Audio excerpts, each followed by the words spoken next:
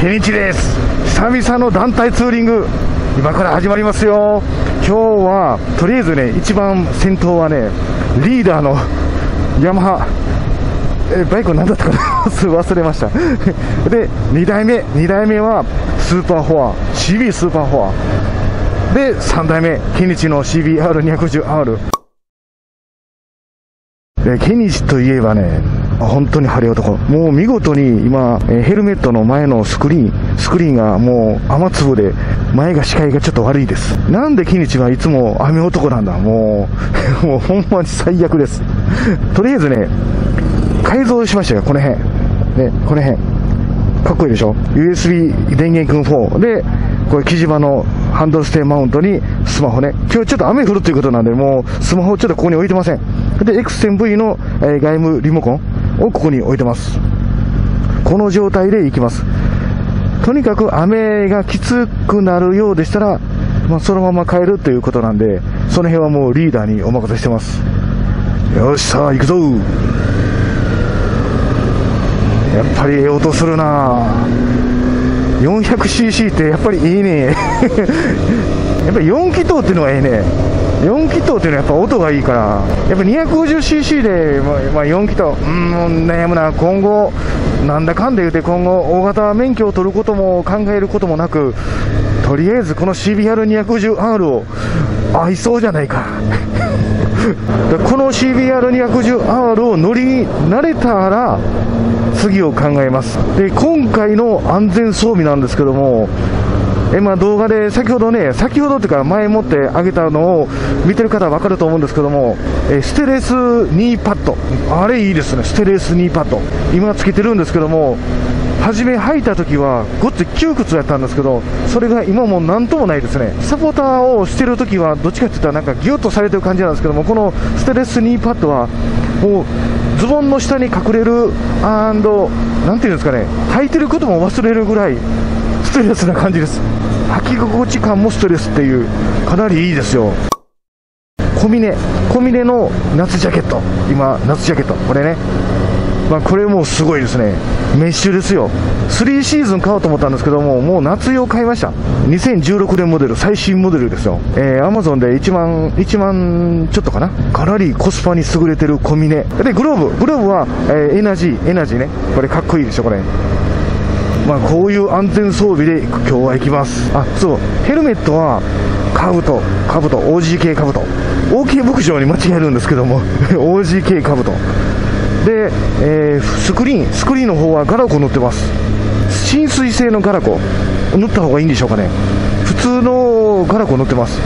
だから雨雨粒はそのまま残ってる状態です。まあ、雨粒がかかるっていうのは、日メガネかけてるんで、そう苦にはならないです。むしろもう雨粒は見えてない状態です。見えてるんですけども見えてない状態です。ちょっとでも雨がきつくなってきたかな。うん。なかなかいいですね。このクソ暑い中、この雨も恵みの雨だ。わかりますかね、えー、これね、ここ。今、これをここもあのガラコを塗ってきたんですよ。このガラコ。これガラコを塗ったんで、雨粒がどんなんかなと思ったんですけども、そのまま雨粒ですね。やっぱこういうのは浸水性を塗らなあかんね。えヘルメットも浸水性のやつを塗った方がまあいいんでしょうね。おー、いい感じの大雨粒だよ。お、右行くか、右行くか、お、右。あ、ここに止まってたんだ。なぜか止まってた。いや、大雨だ いいじゃないの。なかなかいいぞ。いいぞ。この、えー、コミネマンの小峰マンちゃうわ。小峰夏ジャケ。これ、一応シースルーなんでね、なかなかいい感じで、まあ、ズボンはもう濡れてもいいさ。あ、パンツがね、パンツが濡れるか。これ夏の時っていうのは、やっぱりカッパ着た方がいいのかな、はい。あ、わかりました。今、リーダーが安全確安全確認で気をつけてほしいということで。ズボン。ズボンこんな風に今濡れてきました。まあ帰る頃にはべしょべしょでしょ。よし、行くぞしかし、ええ音なるな、CBR。いや、CBR ちゃうわ。CB400 スーパーフォア。乗ったよ乗ったよ教習所で乗ったよあの音でなんかねこうブーブーブーブーこうふかしてしまうっていう教習所行ってる方は分かるんですけども、3速まで上げなダメなんですね。確か速度で言うたら60キロやったかな。60キロか間違ってたすいません。その時ね、ブンブンブンとか言って、ふかし、ふかしすぎてて、あの、怒られましたね。怒られました。いや、それぐらい音がかっこいいんですよ。ノーマルマフラーでも音がかっこよかったですね。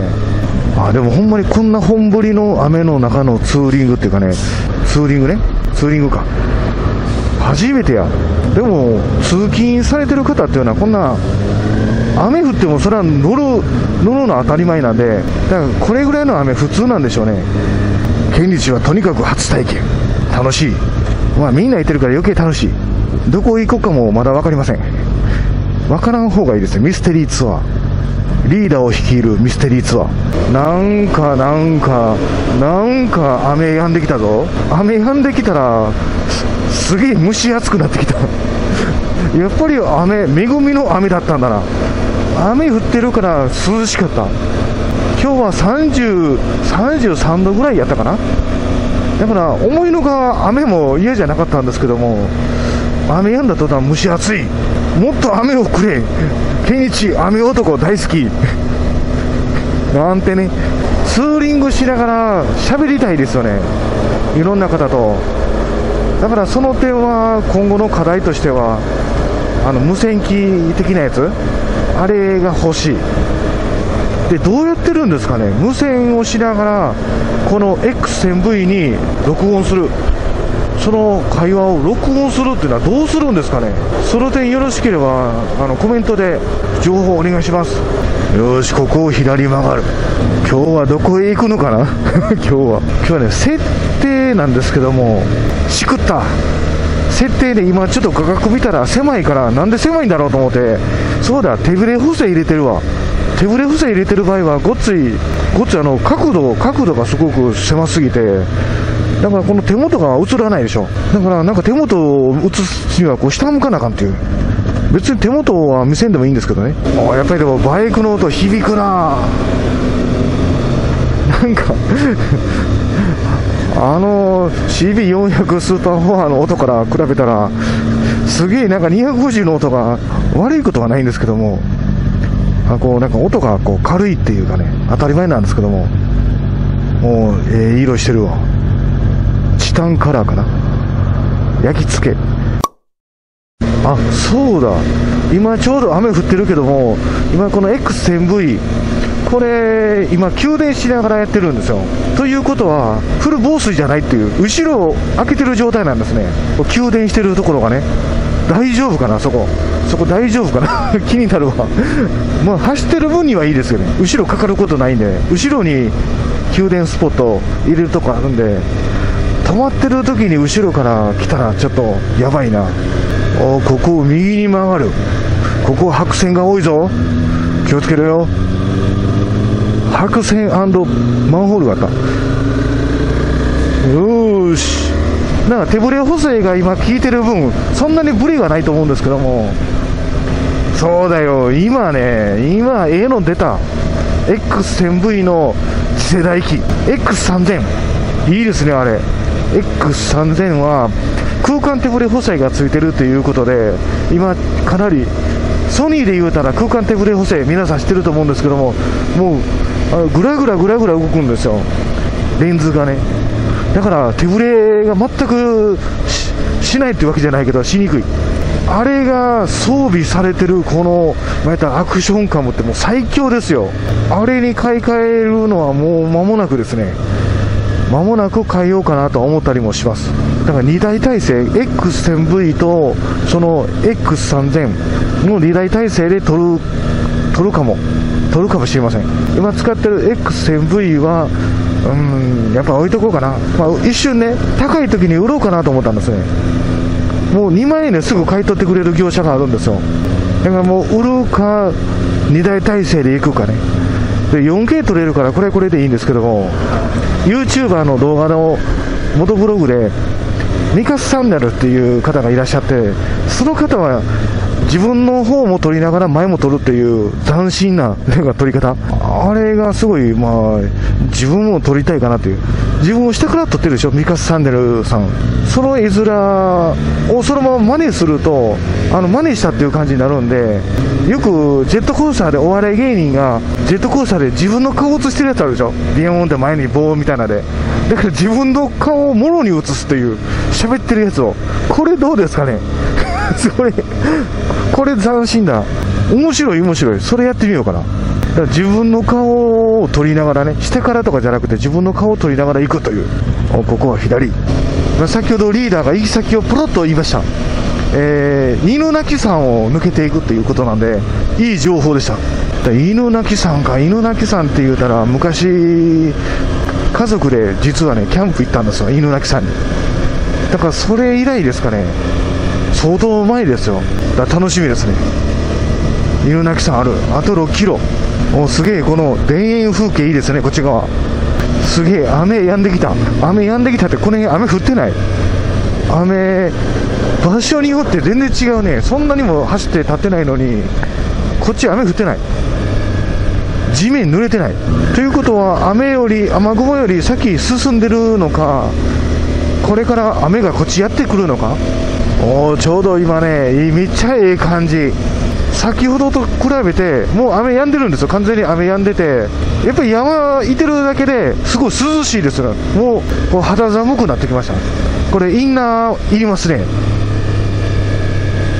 インナーがいるっていうのを書いてたんで、やっぱりその意味が分かります。山入ったらインナーいりますね。犬鳴山あと2キロで、ロードレーサーの方がいます。ロードバイク。すごい尊敬しますね。バイクは楽ですよ。そら、ひねったら走るから。あれ、足でこぐっていう、もう、すごいです。頑張ってください。おお、このカーブええな。めっちゃええ。ほら。うーしゅ、ハングオン。皆さん本当におすすめしますプロテクターこのプロテクターっていうのはななんだろう。この安心感がすごいありますね。すごく安心感があって実際こけた時はもうこれあらないで全く違うんですよ。なんだろうこうこけても大丈夫だろうというこの安心感がすごくこの運転しててこうゆとりが出てくるっていうんですかね。だからもうこれを、まあ、プロテクターつけてるからバンバンいけるっていうわけでもないんですよ、やっていったらだめですよ、でも安心感がすごくありますんで、皆さんもよろしければバイクツーリング行くときは、もう常にこういうのをつけてたらいいんですけども、バイクツーリングの時は、肘、肩、胸、脊髄、背中。で、膝。つけてください、でグローブをね、グローブ。メリケンサックのついたグローブ。もうおすすめですよ。もうそれだけで安心感がすごく感じられますんでね。この辺はでも母ちゃんとツーリング来られへんな堺からジャイロはちょっとこうトルクが足りへんかも。でこの CBR250R もちょっとやばい やばい。シュートダウンせなあのガボガボガボガボ言う。結構回さなあかんっていうかね。そういうところでやっぱり 400cc とかいいなと思ったりします。そんなにもう買えなくてもいいっていうか。あ汽船かこ来た。ここだここ。前ねここ止まりました。汽船閣よかったですよ。あの時は、えー、飲み放題プランにしてて。でボタンみたいなの押すんですよ。そしたら中井さんがビールを持ってきてくれて。その中井さんがビールを持ってきてくれるのが楽しかったです。おーしょ怖いな。怖いな。おーしょついていくのでやっとだよ。置いていかないで。思いのほか結構長いことをだだ流しで撮ってるな。撮ってるっていうことは後で編集大変。大変めっちゃ大変やわ。大丈夫かな。前までは細かくつけたり切ったりしてたんですけども今回バッテリーの別にバッテリーが落ちることないということなんでずっと取りっぱなしです。取りっぱなしなんでね後で編集大変なんですよ。バイク元元ブログやってる方は分かると思うんですけどもバイクっていうのは騒音がずっとあるんですよ。このバイクの音ね。バイクの音があるんで自分が喋ってるとこ探すのが大変なんですね。だからそれを探しながらするっていうのはねいつどこで喋ってるかっていうのがすごいなんか細かいなんかこうオーディオオーディオメーターみたいなので見てするんですけどもそうこの編集するだけで大変だな。大変だなというか楽しみだな。でこれはね一応余興なんですね。実は近々遠からず近からずめっちゃ遠いツーリングをケニチ一人で実行します。一人で実行しますよ。すごいとこ行きますよ。もう一泊一泊じゃない。2泊行きます。バイクツーリング2泊3日さあこれはどこに行くのでしょうか？怖かったんじゃん怖かったですよ峠。ついていくのでやっとでした。よいし。ょ気持ちいい。USB のやつ。普通に外れてるかも。の目の前ね 今もう急遽ずっと走りっぱなしで電源が確認できなかったんですけども